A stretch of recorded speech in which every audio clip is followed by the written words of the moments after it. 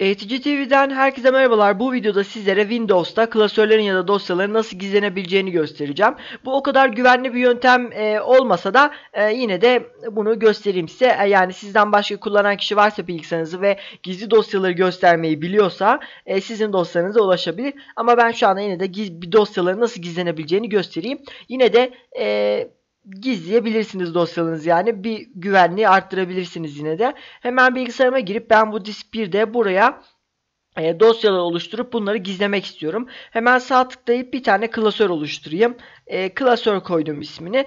Bir tane de metin belgesi oluşturayım. Örneğin bunlarda benim e, çok önemli bilgilerim olduğunu e, varsayarsak yani içinde çok önemli bilgilerim var diyelim ve bunu e, böyle standart bir kullanıcı var. Bu e, bilgilerime ulaşmasını istemiyorum. Bunları gizleyeceğim ben. Mesela klasörlerin içinde de şöyle bir dosyam olsun. Yeni e, klasör işte örneğin şifrelerim diye bir klasör olsun burada da. Ee, bunun içinde de şifrelerim olduğunu düşünürsek ya da bunu klasör değil de metin belgesi yapsaydık daha iyi olurdu yani anlamanız açısından şifrelerim diyeyim. Aynen bu şekilde ve bu metin belgesinin içinde şifrelerimin yazılı olduğunu düşünürsek ben e, ve tabii şu dosyalarım dahil değil o farklı. Bizim şu iki dosyayı gizlememizi istiyor. Bunda bir tane metin belgesi var. Bir tane klasörümüz var. İçinde de şifrelim adına dosyalar var. Şimdi ben bunları gizlemek istiyorum.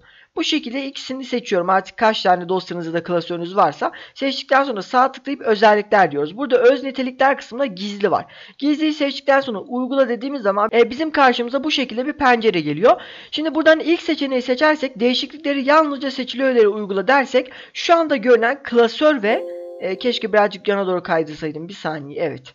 Şöyle yapayım. Tekrardan gizli işaretleyeyim. Evet.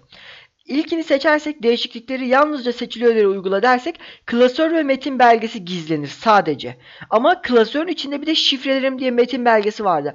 Eğer e, sizden başka kullanan bir kişi varsa bilgisayarınızı ve Windows'ta arama kısmına gelip şifrelerim adında bir dosya olup olmadığını bilgisayarınıza detaylı olarak aratırsa bu dosyanıza ulaşır. Çünkü biz sadece seçili olanları gizledik. Yani içindekilerini dahil etmedik. Ama alt taraftakini seçersek bu klasörlerin içindeki dosyalar da dahil olur. İçindeki dosyalar da gizlenir ve bu da gerçekten daha güvenli olmasını sağlar. Çünkü az önce verdiğim yöntem az önce verdiğim bilgi gibi alt taraftaki seçili ise klasörün içindeki şifrelerin metin belgesi de gizlenecektir ve aramalarda çıkmayacaktır. Bu şekilde yani. Ben alt taraftakini seçtim. Alt klasöre ve dosyalara da uygula dedim. Tamam dedim. Tamam dedim. Evet gördüğünüz gibi dosyalarımız gizlendi. Artık burada yok. Disk 1'e girdiğimiz zaman o dosyalarımıza ulaşamıyoruz. Artık arama kısmına bu dosyaların isimlerini yazsak da detaylı olarak arasak da bu dosyalara ulaşamayız. Şimdi peki ben bu dosyalara ulaşmak istiyorum. Nasıl göstereceğim bu dosyalarımı? Hemen şöyle e, denetim masasına gitmemiz gerekiyor ilk öncelikle. Windows arama kısmına girip denetim masası yazdım. Tıkladım denetim masasına. Buradan görünüm ve kişiselleştirme. Görünüm ve kişiselleştirmede dosya gezgini seçenekleri var. Buna tıklıyoruz görünüm kısmında yukarıdan gizli dosya ve klasörler kısmı var. Gizli dosya, klasörler veya sürücüleri gösterme. Eğer biz bunu yukarıdaki gösteri seçip uygula tamam deyip çıkarsak denetim masasıyla da işimiz bitti. Gördüğünüz gibi gizli dosyalar bu şekilde böyle bir e, hafif sanki gizli görünecektir. Yani opaklığı düşürülmüş gibi e, görünecektir gördüğünüz gibi. İçindeki dosya da aynı şekilde gizli. E, bu dosyaları bu şekilde tekrardan gösterip tekrardan içerilerine e, ulaşabiliyoruz.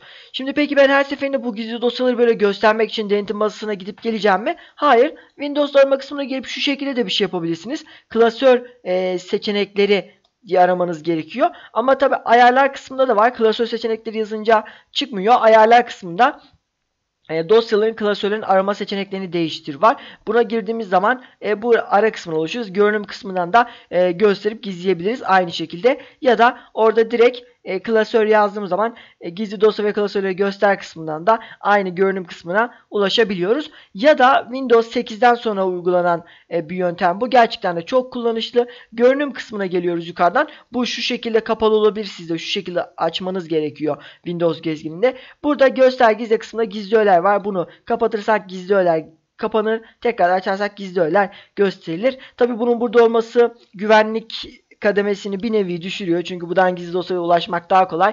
E, diğer türlü işte dentimasına gir oraya ulaş falan daha zor.